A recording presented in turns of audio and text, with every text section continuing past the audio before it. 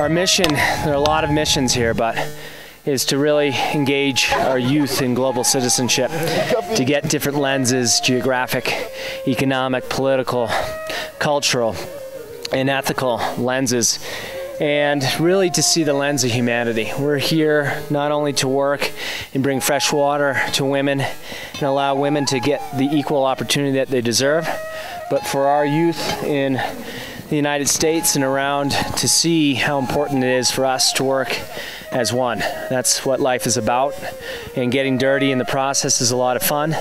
And it's just an incredible honor to get to know the people of Nepal, to work with the girls, to work shoulder to shoulder together, and uh, just to see.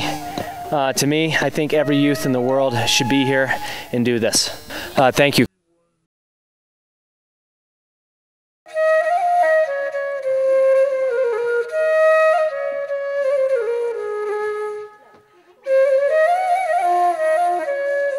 It's it's very interesting and I'm very excited. I'm sure it'll taste very good. okay, so we're making dal bhat with our host family and we um, shelled peas and we peel, we peel potatoes and then um, put rice on the fire and it's a neat experience because I've never made this food before and we can go home and make it for our family which will be exciting. My name is Warren, or my Sherpa name is Pimba, and uh, being with the host family has been great so far. We've learned a lot about the language and the culture, and we got to cook tonight, which was awesome because you get to see how different it is from our gas stoves, automatic cooking things, and all of that. You know, you really have to get down there and do it yourself. And um, we cooked Sherpa stew, and that involved like you made the flat bread and put it in and stirred it and everything. Um, and it's a lot more work than back home having to do it. You know, everything does it for you. Uh, it's a great experience. Um, and tonight we got to experience some cooking, which was really fun. And um, when you eat the food, it actually seems relatively simple um, and delicious. But when you're making it, you learn that it's pretty complicated. Uh, this is Ekdam Mito. Absolutely delicious. And the good news is that we helped cook it yeah. with our our satis and yeah, and our family, and um, absolutely delicious. It's so good, very hearty after a long day of work. It's delicious. delicious.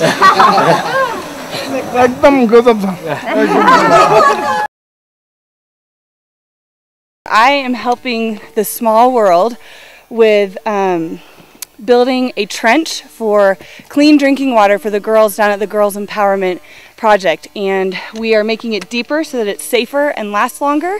We're getting a little dirty, but we're having fun using teamwork. So it's good. We're, we're finally getting the work done. It feels good. I feel great, a little sore from all this work, but it's very fun. Um, this is our sixth day here, second day working on this pipe. It's a lot harder today because it's all dry. Yesterday we got all muddy, but we're getting there. It's awesome. It's just so astounding to me that we're given this opportunity and everyone should take advantage of it. And already, we've been here for four or five days, and already I've been seeing my life being changed. Uh, last summer when my mom actually told me that I should go on one of the trips, but I didn't have enough time for during my summer. And then all throughout this year, I've been talking to Mr. Gray or Ryan and Bob Bendoni about the trips. And um, one of the upperclassmen had told me that the Nepal trip was probably the most fun time he's had. And so I definitely decided to come on this trip because of him. And um, like he said, it's just amazing to be here, building the water pipe, actually doing the work. It uh, makes you feel really good about yourself, and um, it's a great time. I'm Juliana Riquetta, I'm 17 years old, and I'm from Austin, Texas. It's awesome seeing them working every day and loving life, just loving everything they do. They even love to work, and they actually take their time doing things, and they take the time to enjoy things. Um, I guess I'll talk about the hostel too. Um, the hostel is a lot of fun. The girls were so sweet. They're really nice.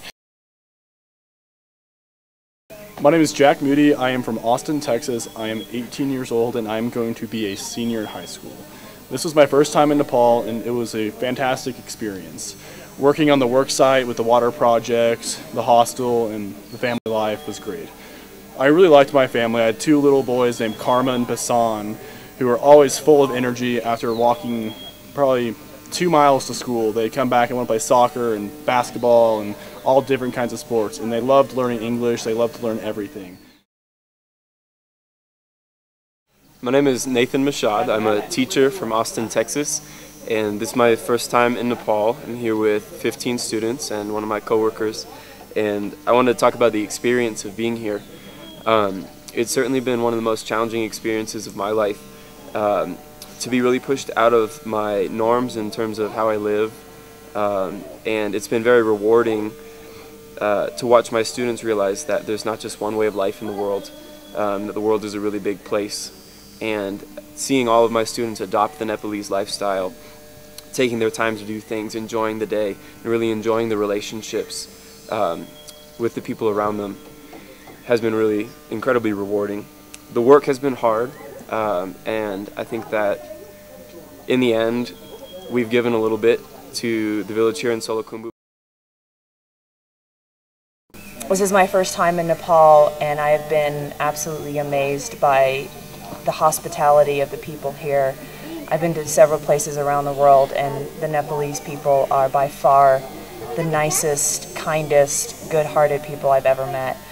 Um, we we were here with a bunch of our students, and they took us up to a mountain, which was a hard hike, and a few of us wanted to give up a couple of times, but they got us all up the mountain and, and cooked us this amazing picnic, and we all sat together in a, in a big circle and, and sang and danced and shared stories and, and realized that we all had this human experience um, on top of this mountain together, even though we were separated by a half a world. The, the work site that we're at um, was hard work. A lot of us have not done manual labor before, so taking axes and shovels and digging a trench from a top of a hill down to the village to have a water source for the for the hostel was was tough. I came home several times quite sore. I think I'm still pretty sore right now, um, but it was it was so rewarding to see everybody work so hard and be so happy about, about it. I, I can't possibly thank the Nepali people for, for everything they've given me. Um, there's no way that we could give, give to them what, what they've given us. And I want to thank everybody here for the, one of the most amazing experiences of my lifetime. Namaste, Mera Ryan Ho, and I'm here at the in beautiful Salleri, the Women's Empowerment Hostel, and I'm here to ask a few questions. So, um, May, if you're so kind, tell us your name. My name is Pema Silva. My name is uh, Mamita Magar. I like reading and playing volleyball and making new friends. I want to be a good teacher. Thank you. Well, there you have it. these are the girls, special girls, and we're honored to be here. And thank you so much. Dhanyabad.